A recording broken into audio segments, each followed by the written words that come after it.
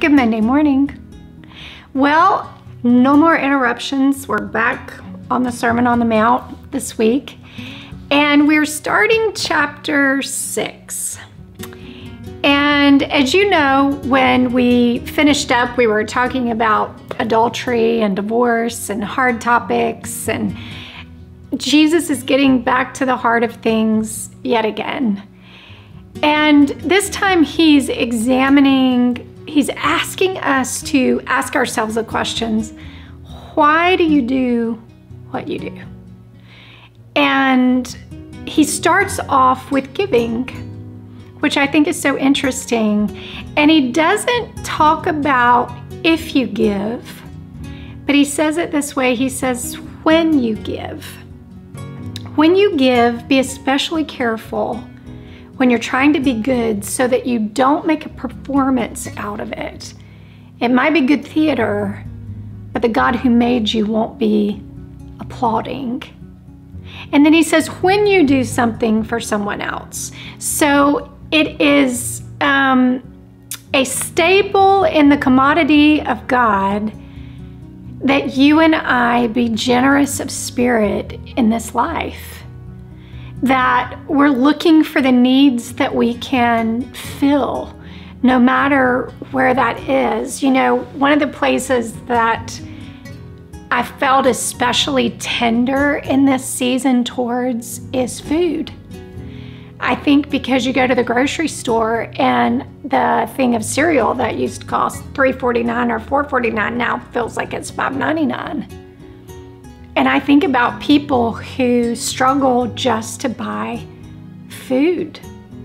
And so I've had to ask myself, Lord, what does being generous in this season look like? Not if, but what? But then he tells us, he says, when you are generous, it's not about a show, it's not about a performance, it's not about doing it where you can be seen or telling everybody about what you've done. It's a heart issue. It's about you being obedient to me and you paying attention to the places and the people that I place on your heart to be generous to.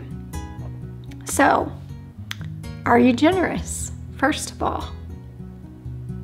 You know, years ago, I've told you this story so many times that one of the first things I tried to teach my bonus kids is that if they would share, if they would keep their hands open, then God could get more to them so He could get it through them. The same is true in our life. If you and I live life like this, then what we have is all we'll get, and we could end up squeezing the life out of that. And there is, especially in a season and a moment like this, when, when things are harder and more expensive and gas costs an arm and a leg, to want to hoard and be tight fisted. But that is not the way God has called us to live. We should still be looking for needs that we can meet one way or another. And then when we do, it's not about other people seeing, but it's about God taking stock of our own heart.